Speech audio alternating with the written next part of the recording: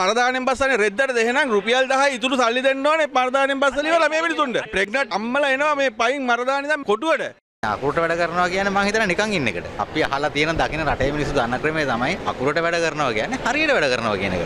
කතා බහ කරලා විසඳ ගන්න පුළුවන් ප්‍රශ්න මිනිස්සුන්ගෙන් පරිගන්න එක හරි අසාධාරණයි.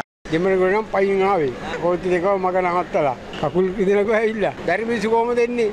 මේගොල්ලෝ හැම පැත්තටම සිග්නල් නැහැ කියනවා. ඒක බොරුවක් නෙමෙයි කරන්නේ. කිසිම ඉල්ලීමක් දෙන්න අර. මොනවා කියන්න දන්නේ? මේගොල්ලන් මේ මිනිස්සු අතර මං කරන්න ඉඳගෙන. සම්පාට යන්න කළුතර ඉඳලා ආවේ. මහලේකම් කාර්යාලයේ කෝච්චිය නවත්තගෙන ඉන්න. ඊට පස්සේ අපි බැහැලා පයින් මේ පැත්තෙන් ආව මෙතනට. මේගොල්ලෝ නිකන් ඉඳගෙන පඩි කකා මිනිස්සුන් ඇයි මේ විදියට අතරමං කරන්නේ?